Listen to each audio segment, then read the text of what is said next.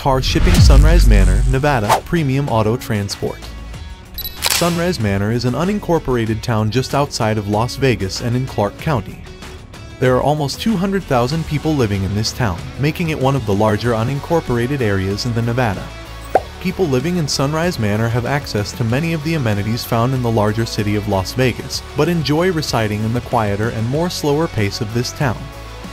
There are several sights to see here, including the large and stately Las Vegas Temple of the Church of Jesus Christ of Latter-day Saints. There are also several schools here, part of the Las Vegas School District.